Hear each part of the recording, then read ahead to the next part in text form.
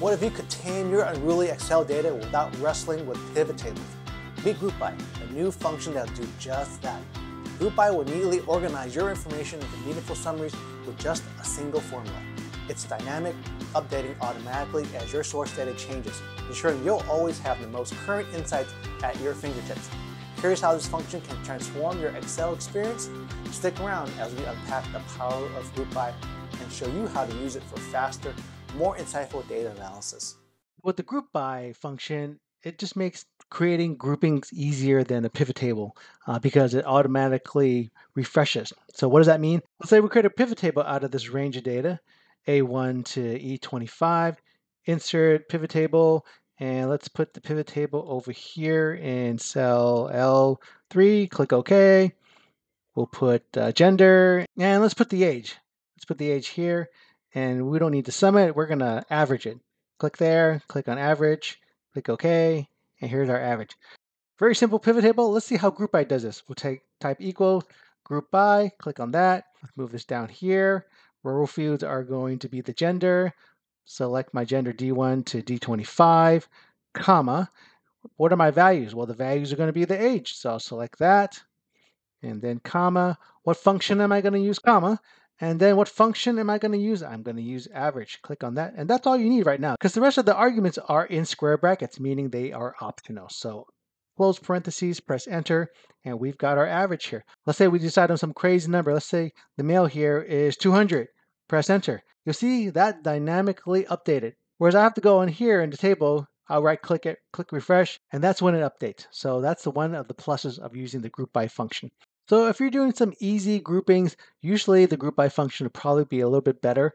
If you're doing a little bit more complex groupings, I would stick with pivot tables, but it's actually kind of nice to have the group by function. And as you can see, there's other arguments in there. Let's kind of explore that.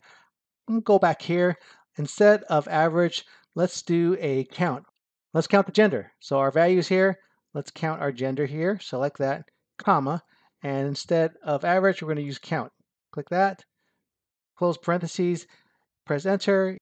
It's going to be zero because count counts numbers and I needed to use a count A. Let's select that count A and you can see it included the header here. So what we can do is we can incorporate the other arguments here, comma, our field headers. Yes, I do have field headers. Show it, but don't, don't include it as another row there, another grouped row. Close parentheses, press enter, and now we've got our gender there, our counts.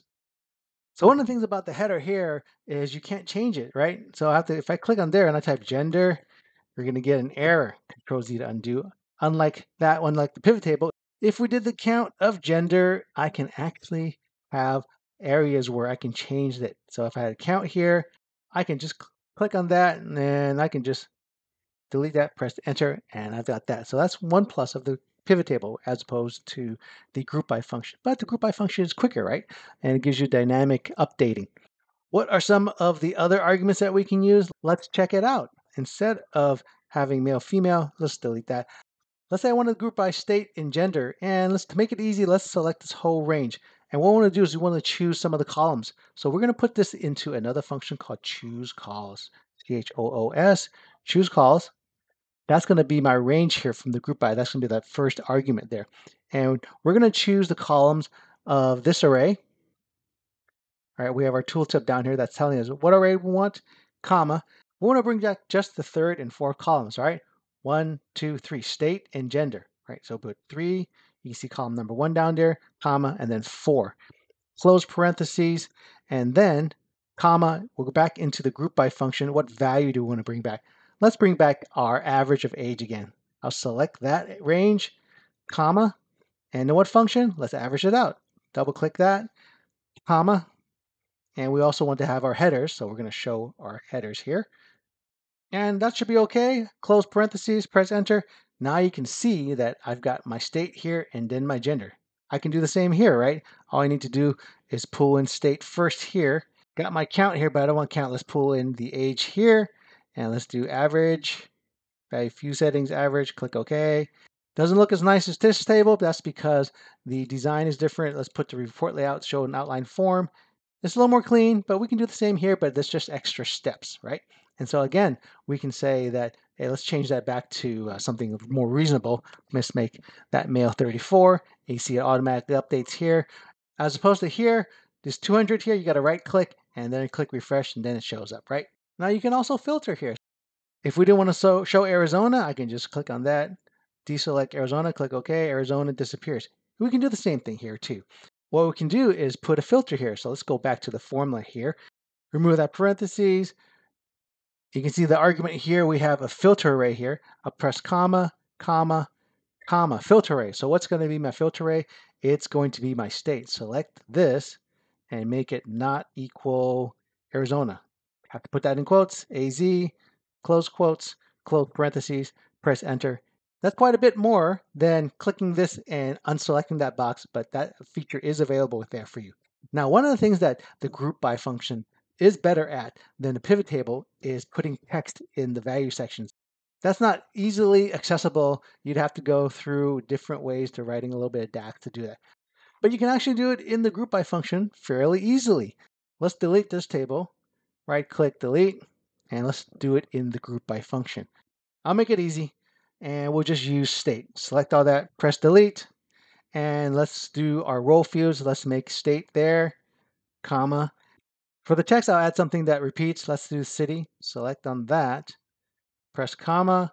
Now, you may think that, oh, we have this function here and we have this array to text. Click on that, and that might take us there. Close parentheses, and it almost does, right? Because we've got all these text here in the values field. But what if we had something like this?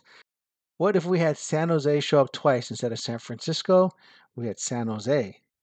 And you can see here, it happens to show up there twice now. And maybe we don't want that. We want San Jose to show up just once. How do we do that? Well, what we need to do is go in here and instead of array to text, we need to use something called the lambda function. What lambda does, it enables you to write your own function in a way, or your own programming in there. And so it's going to take a parameter or a calculation. Usually the first uh, argument is going to be the parameter. What's the name we're going to give it? I'll just call it t. You can, get, you can call it anything like text, x, whatever. Just call it t here, comma, and it's going to come up with another parameter or calculation. Now we're going to do a calculation.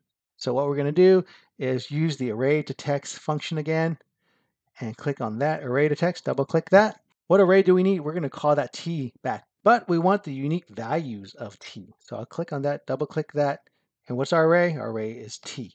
All right, that's a, that's the lowercase t. Close parentheses, uh, close parentheses again, and we're at back at the lambda function. Let's close parentheses there. Now we're back at the group by function. Let's close parentheses there. Press enter, and now we have our unique values here: San Jose, Los Angeles, San Diego. Oh, we didn't have our headers, so go back here. Let's put in our headers, right? And so we've got our function, field headers, comma, Number three, yes and show.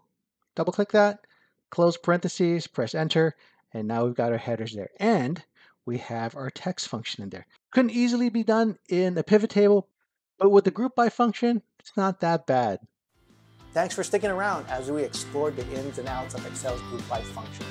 As you start using group by in your own projects, remember the key is to experiment and adapt it to your specific needs. The more you use it, the better you'll get at uncovering valuable patterns in your data. Thanks for joining today.